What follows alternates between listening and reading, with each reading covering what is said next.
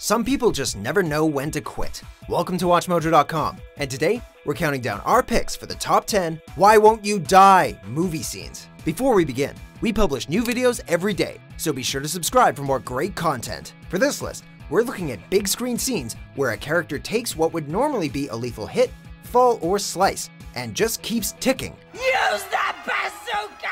We're basing our choices not only on how hard they're hit, but also the shock and anger of their adversaries. Since some of these scenes involve a final battle, a spoiler alert is in order. Why? Why can't I kill you? Number 10, Bullet Sponge, Snatch. What about Tony? You know, Bullet Tooth Tony. Who's Bullet Tooth? Tony? Ever wonder where a gangster got his tough nickname? Guy Ritchie wastes no time on this quandary, with his colorful introduction to bounty hunter Bullet Tooth Tony. When two mob bosses try to catch diamond thief Frankie Fourfingers, an assistant suggests Tony, and how exactly he qualifies. He got shot six times, had the bullets moulded into gold. The scene stylishly mashes their description of Tony with a flashback of him taking six bullets before flipping the tables on his exasperated and terrified would-be murderer, all set to Tony's favorite Madonna song. Oh, I love this track. The scene hilariously sets up Tony as serious business and explains that Tony had two of the bullets molded into his teeth to earn his tough but accurate moniker. Why do they call him the Bullet Dodger? Because he dodges bullets Avi.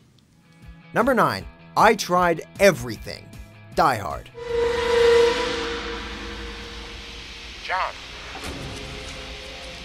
Some villains do inhuman things, while other villains are just inhuman. After going on a rampage seeking revenge on John McClane, Karl wouldn't even let death stop him. We're both professionals. After redirecting a gun to the face, McClane tries punching him mercilessly, crane kicking him, and throwing him into just about any surface he can manage. After taking a bullet to the shoulder, McClane decides enough is enough and tries hanging Karl by a chain. This seems to do the trick, until Karl makes a surprise return in the movie's finale. Rising like a bloodied zombie with his gun in hand, Karl tries one last time to end McClane before Sergeant Powell shoots him down to finally stop him.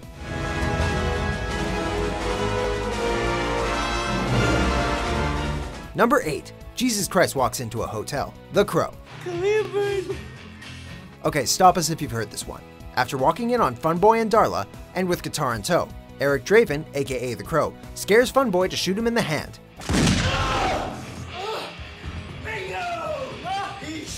When Funboy thinks he has Eric, he turns and shows his healing hand to Funboy's appropriate religious comparison. It's no laughing matter for Funboy to be shooting Draven repeatedly while he stumbles his way through a joke. Jesus Christ walks into a hotel.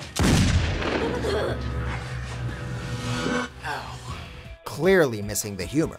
He asks a very pressing question right before Draven finishes his joke and makes Funboy shoot himself in the leg and mess up his bed. Don't you ever f***ing die? You put me up for the night? Number 7. Road Overkill. Me, myself, and Irene. Those damn truckers. It's not always easy doing Mother Nature's work, but sometimes it's definitely harder than others. After Charlie and Irene find what they think is a dead cow on the side of the road, they go to move her before discovering she's not quite what they thought she was. Ah, Okay, you just Oh, it's still alive. this. Looking to put her out of her misery, Charlie takes out his service weapon and shoots the animal in the head. Again. And again. When that doesn't work, he tries pistol whipping and choking the cow, with some helpful kicks from Irene before the beast finally moves on. Or so they think. Well, that was tough. At the end of the movie, we're actually shown the cow with just a few bandages to show for her suffering. Number 6. I'ma die now, probably. Pineapple Express. I'm gonna die now, probably. Red was definitely a good name for this movie's most colorful character. After asking his captors to take their shoes off in his house, Red takes things too far when he insults Matheson's choice of footwear, which results in him getting shot. Matheson, you got British Knights on. I ain't seen anybody wear them since 1987. No! His captors start fighting over discretion, or lack thereof, before Red wakes up to complain about where he was shot. You shot me in my stomach! Red seems more annoyed than concerned for his life, as he shames his captors for shooting him after he had them over for dinner, and then he gets shot again. Red's lack of concern is warranted, however, as he miraculously returns to defeat one of the gangsters at the end of the film. You just got killed by a Daewoo Lanos, motherfucker! Number 5. Serial Killer versus Mass Murderer. Freddy versus Jason. It's time to put this bad dog to sleep. For good! Murdering killers can be quite the nightmare, even when it's one of your own creations. Frustrated that he's losing all his kills to Jason, the elusive Freddy decides to fight for he's in his sleep. But when you're both as invincible as Michael Myers, your fight is bound to take a while.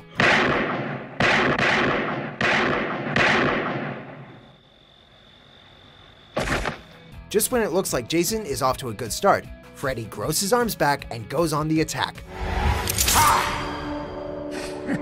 Krueger tries impaling Jason with his own machete and even playing a game of pinball with him. After dropping a whole boiler on him, Freddy can't believe his eyes when Jason bounces back, with even enough fight for the rest of the movie. Why won't you die?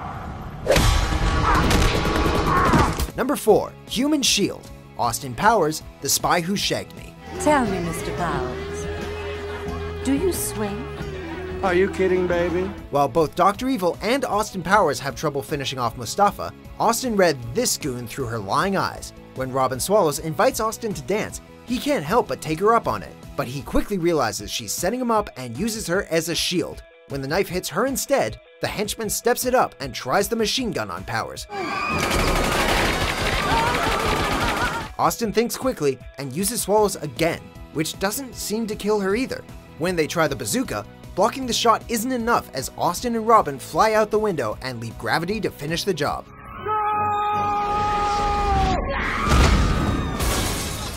Thanks to some quick repositioning, Swallows breaks Austin's fall as well as his composure, as she manages to survive and threaten him once again. You can't win, Powers.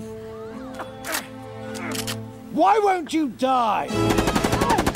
Number 3. Losing your touch? A fistful of dollars. Let the old man down. Sometimes, it's better to put in the effort and just aim for the head. In this final showdown, the man with no name goes solo against a whole gang of bandits, but he's got an ace up his sleeve. Or poncho in this case. What's wrong, Ramon? You losing your touch? After taking multiple shots to the chest while taunting a growingly concerned Ramon, the stranger gets up again as his assailant realizes he's out of shots. That's when Clint Eastwood reveals his makeshift bulletproof vest, which results in one of the most powerful reactions in cinema history. Shaking in their boots, the bandits are wiped out by our nameless hero's fast hand, with one bullet left to free the poor old innkeeper.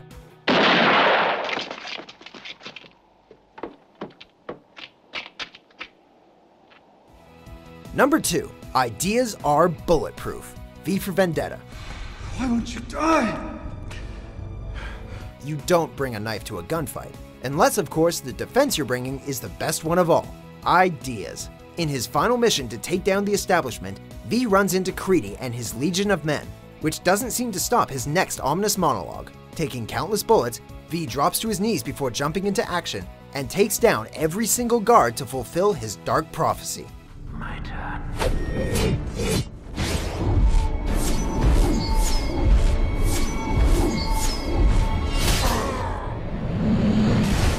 As Creedy frustratingly fails to shoot down the seemingly unkillable V, he learns the freedom fighter's secret.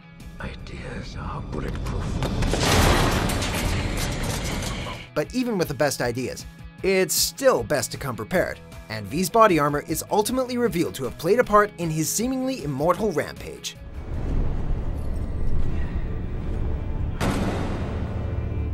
Before we unveil our top pick, here are a few honorable mentions.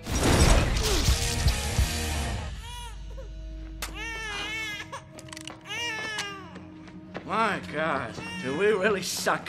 Or is this guy really that good? Look, you stupid bastard, you've got no arms left. Yes, I have. Look! Just a flesh wound.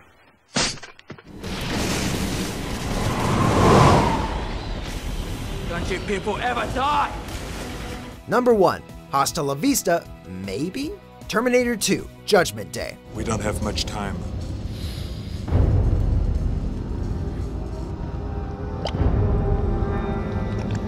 After the first Terminator movie, it'd be safe to assume explosions aren't going to stop these killing machines, but it's always worth a try.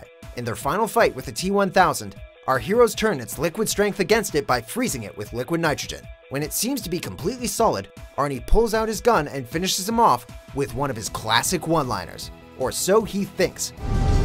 Hasta la vista, baby. After shattering into a thousand pieces, the android shows its true power by regenerating, slowly pulling itself together from tiny droplets. John Connor can only watch in terror as the T-1000 grows until it's back in uniform and ready for another round. Do you agree with our picks? Check out these other great clips from WatchMojo and subscribe for new videos every day.